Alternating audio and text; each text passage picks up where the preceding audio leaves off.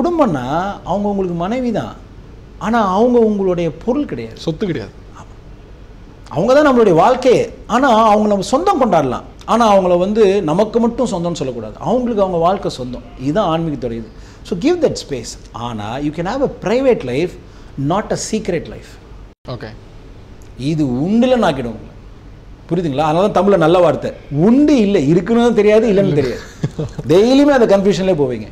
ஆ உங்களுக்கு அதை மட்டும் இல்லைம்மா நான் இப்போ ஆஃபீஸ்க்கு போகிறேன் இங்கே நான் அது ப்ரைவேட் லைஃப் இல்லைம்மா நான் ஃப்ரெண்ட்ஸோட போகிறேன் என்ன பண்ணுறீங்கன்னே தெரியாமல் ஏதோ பண்ணுறீங்கன்னு ஒரு ஆணுக்கோ பெண்ணுக்கோ கல்யாணத்துக்கு அப்புறம் தெரிய வந்துச்சுன்னா எழுதி வச்சுக்கோங்க. என்னைக்கா இருந்தாலும் அது உங்களை சாவுக்கு கொண்டு போய் நிறுத்திடும்.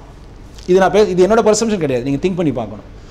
இப்போ நிறைய பேர் என்ன பண்ணுறாங்க இல்லை எங்கள் ஹஸ்பண்ட் சரியாக பேச மாட்டாங்க ஆஃபீஸில் இருக்கவங்க நான் ஆசையாக பேசுகிறேன் அந்த பெண் மேலே தப்பு இல்லை.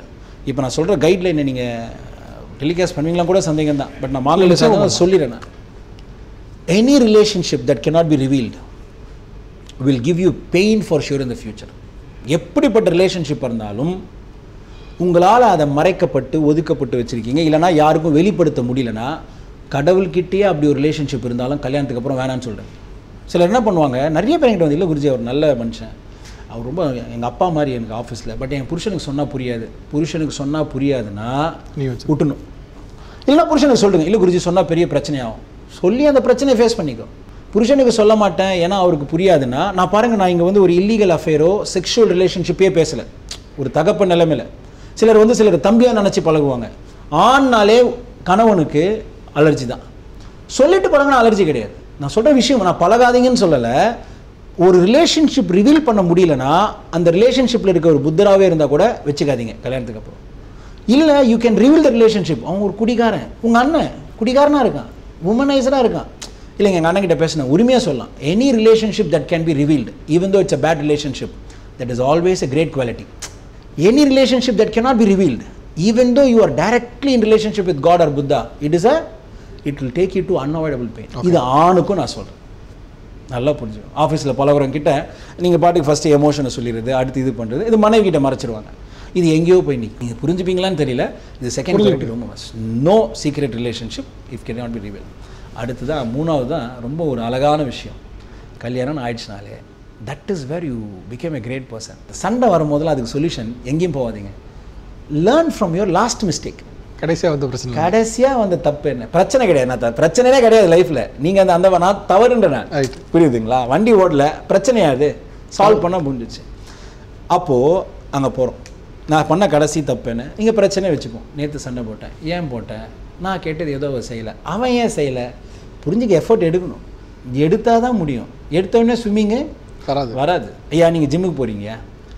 போ ஃபர்ஸ்ட் டே நான் எக்ஸசைஸ் பண்ணிட்டு கண்ணாடியில் பார்க்குறேன் வராது ஒன்றும் பைசப்ஸ் கிடையாது. செகண்ட் டேவும் பார்க்குறேன் செஸ்ட்டு ஒன்றும் வரல. ஜிம் விட்டு நின்றுறீங்க அவ்வளோதான் வரவே வராது. ஒரு மாதம் சும்மாவே போகிறீங்க என்றைக்கோ ஒரு நாள் உங்களுக்கு செஸ்ட் ஃபார்ம் ஆனது தெரியும். ரெகுலராக புஷ்அப்ஸ் பண்ணீங்கன்னா. ஜிம்முக்குன்னு பார்த்தாலும் வீட்டிலே புஷ்அப்ஸ் பண்ண தெரியுமா தெரியாதா? நிச்சயமாக தெரியும். என்னைக்கு ஃபார்ம் ஆக ஆரம்பிச்சதுன்னு தெரியுமா? தெரியாது. ஆனால் என்னைக்கு ஆரம்பிச்சிங்க? முதல் நாள் ஆரம்பிச்சிருப்போம். ஆனால் அன்றைக்கே ஃபார்ம் ஆகலை. ஆகலை. அன்றைக்கே ஃபார்ம் ஆகலை. நல்லா ஞாபகம் வச்சுக்கோங்க. உங்கள் மைண்டில் நீங்கள் வச்சுக்க வேண்டியது உங்கள் கணவன் மனைவி என்னைக்கு கல்யாணம் பண்ணி கரெக்டாக சொல்லுவீங்க. என்னைக்கு லவ் பண்ண ஆரம்பிச்சோன்னு யாருக்கும் தெரியல. அதனால தான் டிவோர்ஸில் போய் நிற்கிது அது தப்பு இல்லை. இந்த காலத்துடைய ஃபேஷன் அதானே. Love in first sight divorce in first fight அது வி ஆர் அலோவிங் இட் அது ஆப்ஷன் கொடுத்தாச்சு. ஆனால் டெய்லியுமே இது நீங்கள் செஞ்சீங்கன்னு வச்சுக்கோங்களேன்.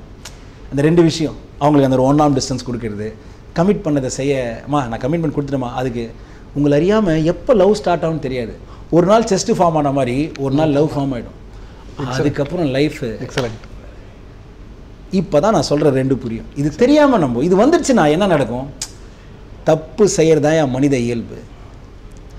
அந்த தப்புன்னு தெரிஞ்சோடனே செய்யாமல் இருந்தது தான் பெரிய மனுஷன். பெரிய மனுஷனா நீங்கள் ஆவனாலே தப்பு செஞ்சா தானே ஏன் செஞ்ச தப்பை இனிமே செய்யல. தப்பே செய்யல. சார் தத்தி மாடுன்னு அர்த்தம்.